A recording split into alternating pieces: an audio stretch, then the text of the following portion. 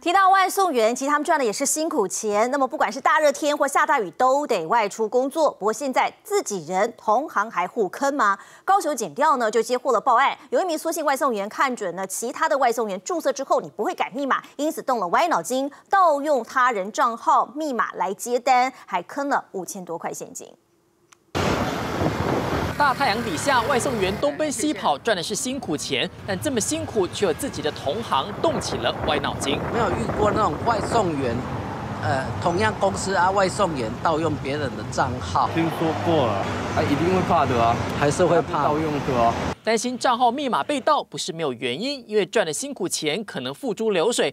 剪掉就接获报案，一名外送员注册熊猫账号以后没有变更密码，被一位苏姓同行盗了账号，而且在登录以后还篡改对方的密码。之后，这位搞鬼的外送员接单收了现金五千多块钱，却没有上缴公司，自己拿去花用。收到了现金，他就是不要汇回公司啊，然后就是。